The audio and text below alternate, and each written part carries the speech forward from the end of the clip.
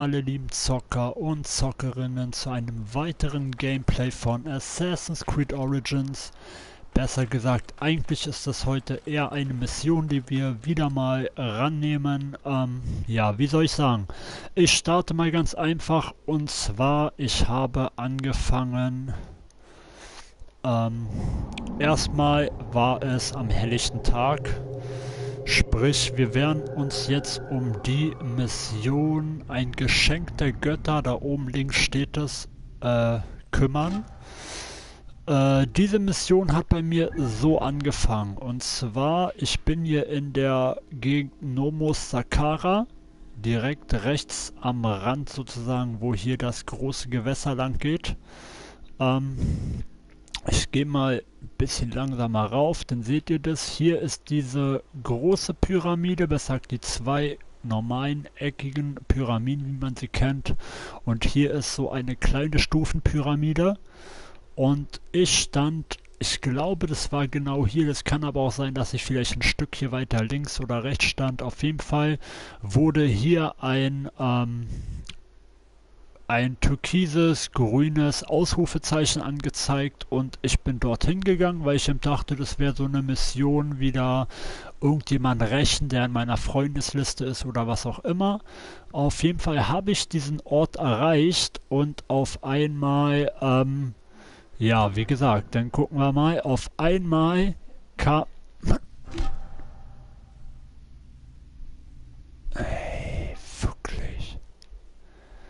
So, also, auf einmal, wie ich denn hier stand und dieses, diesen Ort erreicht habe, kam dort hinten, wo jetzt das Zeichen ist, ein Meteorit runter. Das sah auch wirklich optisch aus und wie gesagt, denn äh, stand als Ziel, gehe zum Meteoriten, erkunde die Gegend und das machen wir jetzt auf jeden Fall.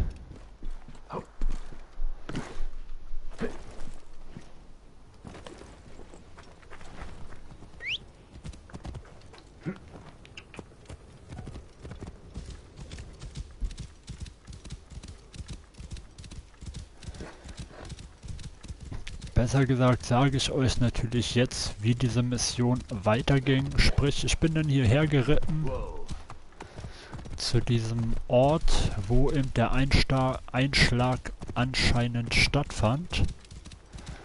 Und das war genau hier.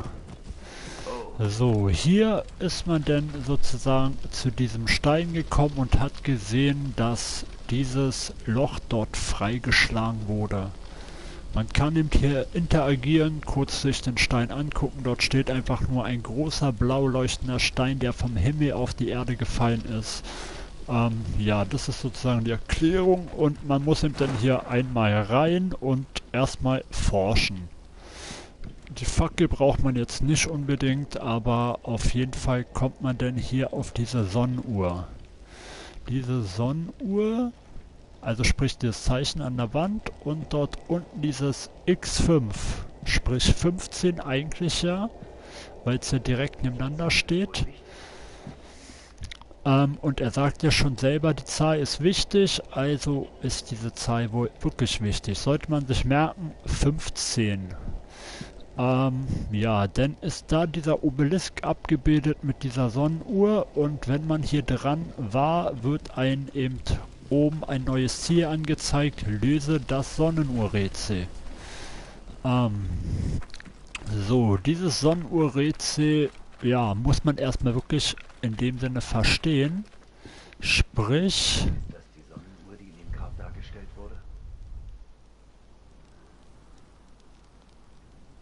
Sprich, man muss eben erstens zur richtigen Zeit hierher kommen. Und man muss ihm noch ein paar Sachen abschließen. Besser gesagt, ihm dieses kleine Rätsel lösen, was wir jetzt einfach mal schnell probieren. Ich habe schon selber hier mal ein bisschen probiert und habe dadurch auch was rausgefunden. Und wir gucken mal, ob wir damit jetzt das Rätsel komplett lösen können. Ich weiß nicht, wie lange das jetzt dauert, ob das eine 5-Minuten-Sache ist. Auf jeden Fall, ihr seht jetzt, ähm, hier werden jetzt, sind jetzt drei Teile runtergekommen. Und ähm, ja, das kann, die kommen nur runter, wenn man ganz am Anfang meditiert und gerade vom Abend in den Morgen reingeht, sprich wenn die Sonne aufgeht. So, jetzt haben wir hier Pfeile. Ich werde jetzt mal probieren, das habe ich nämlich noch nicht probiert. Ich habe auf jeden Fall gemerkt, dass etwas passiert, wenn man mit Feuerpfeilen drauf schießt. Aber ich weiß jetzt nicht, ob das unbedingt Feuerpfeile sein müssen oder ob das auch normale Pfeile sein können. Und deswegen werde ich mal jetzt einfach einen normalen Pfeil nehmen, der kein Feuer hat, um euch zu zeigen, ob ihr jetzt einen Feuerpfeil braucht oder nicht. Wir nehmen jetzt mal einfach diesen Pfeil. Und so, da sind fünf Balken abgebildet, dort drei und dort ist nur ein Balken abgebildet. Wir schießen jetzt mal. Jetzt habe ich schon wieder Feuerpfeile. Ist natürlich jetzt gerade blöd gelaufen. Wir schießen auf jetzt ähm, diese drei Balken fünfmal. Das ergibt dann die Zahl 15. Und dann werden wir mal gucken, was passiert. Ähm, so. Wir haben jetzt auf jeden Fall einen Pfeil, der nicht brennt. Und jetzt probieren wir mal einfach. So, ihr seht, wenn man zu lange braucht, das wollte ich jetzt auch mal zeigen, wenn man zu lange braucht, gehen diese äh, Urscheiben einfach wieder hoch und ihr habt keine Chance mehr, sie abzuschießen. Das heißt, wie gesagt, es dreht sich hier wirklich in einem Abspann von ein, zwei Minuten, dass ihr das erledigen müsst. Und ja, das machen wir jetzt. Wie gesagt, wir probieren einmal ohne Feuerpfeile und wenn das nicht klappt, nehmen wir Feuerpfeile. So, hier sind drei Teile. Drei, sechs, neun, zwölf, fünfzehn. So. Und schon passiert etwas. Mal sehen, ob wir damit Anscheinend haben wir damit das, Lötzige, äh, das Rätsel gelöst. Ähm, aber dazu wollte ich jetzt mal sagen, also ihr habt gesehen, man braucht keine Feuerpfeile, man braucht einfach nur Pfeile und je nachdem, was man eben auswählt, wenn man diesen rechten Obelisken mit den fünf äh, mit den 5 Zahlen nimmt, dann muss man eben nur dreimal raufschießen, dann hat man dreimal 15. Wenn man den mit dem einen nur nimmt, muss man natürlich 15 mal draufschießen und wenn man den nimmt, den ich genommen habe, muss man 5 mal draufschießen. 3 mal 5 ergibt 15. Sprich, wie gesagt, die Zahl ist die wichtige. Ähm, das haben wir jetzt auch jedenfalls gelöst. Es ist jetzt auch ziemlich dunkel hier geworden auf einmal und ja, erreiche das Grab unter dem Medium-Pyramide. Unter der Meidum-Pyramide. Medium wird ja anders geschrieben, würde ich behaupten. So, okay. Jetzt ist hier auf jeden Fall etwas passiert. Die Lichter sind blau. Alleine das sieht schon sehr optisch aus. Und jetzt bin ich mal gespannt. Okay. Ich kann nicht mehr rennen, das heißt, wir sind sozusagen halb in der Sequenz drin. Oh, ihr Torwächter, die ihr die Pforten bewacht, die ihr Seelen fresst und auch die Körper der Toten verschlingt. Welch Reise liegt hinter mir? Was habe ich alles gesehen? Ich bin Okay. Das ist ja doch schon leicht optisch gerade. Davon werden wir auch gleich mal ein Foto machen.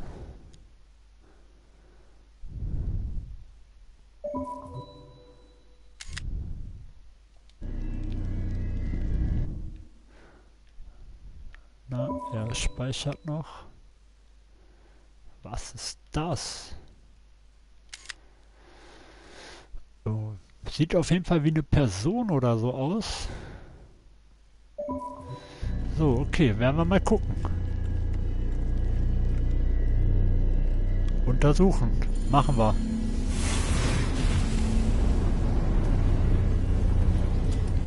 Okay, es... Er hat Angst. Ähm, ja, hätte ich auch, wenn ich er wäre. Okay, kommt jetzt ein Endgegner oder so? Nee, hä? Okay, das sieht ja doch schon jetzt gerade optisch aus, alles. Und das sieht mir irgendwie nach Final Fantasy aus oder so. Definitiv Final Fantasy. Was ist denn das jetzt? Okay, optisch.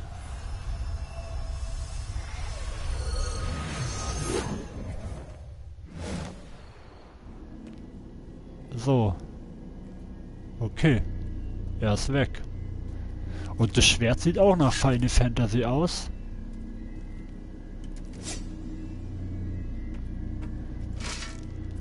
Okay, so ein Schild kenne ich nicht von Final Fantasy, aber das Schwert das sieht ja extrem nach Final Fantasy aus. Reittier, Seite, Schild und einfaches Schwert. Was habe ich denn da für ein Reittier jetzt bekommen? Also das werden wir natürlich jetzt nochmal schnell ausprobieren, was ich hier bekommen habe.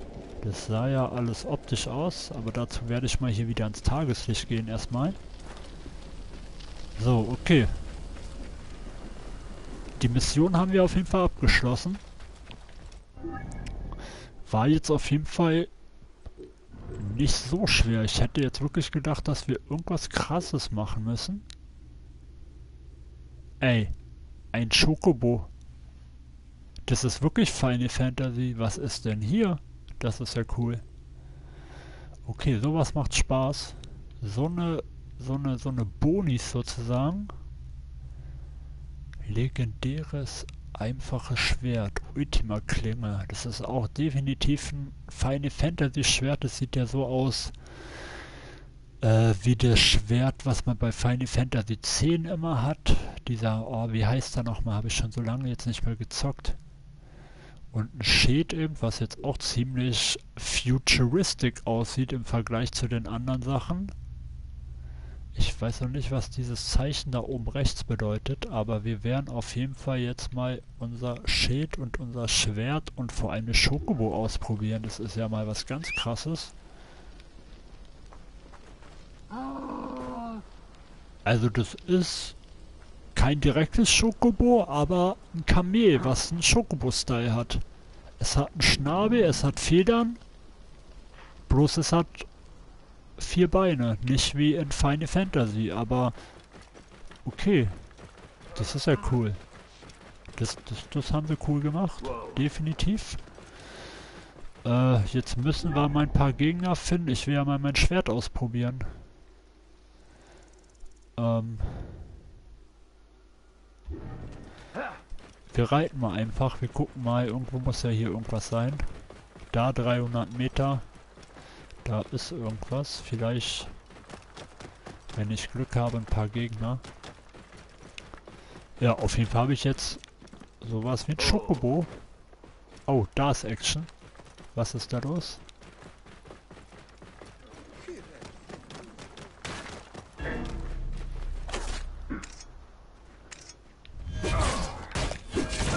Okay. Auf jeden Fall sehr schnell.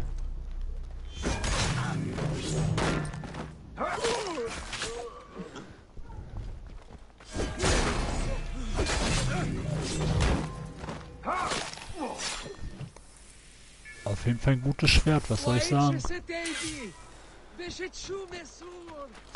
Ich musste ja gar nichts wirklich machen. Der hat die ja ganz einfach platt gemacht.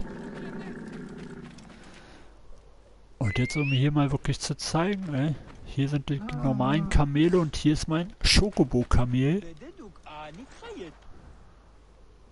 Wovon ich auch gleich ein Foto mal mache, um das eindeutend zu zeigen, was auf sie hier zukommt oder was auf sie wartet.